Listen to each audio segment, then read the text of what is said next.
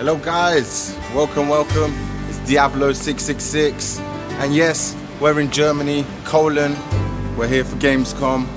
So make sure you're tuning in Tuesday, Wednesday, Thursday, Friday, Saturday. We're going to be live, doing a lot of live streaming on Live Me, YouTube, Facebook, and more platforms. There's a lot planned. Please, you need to come in and check us out. It's a beautiful city.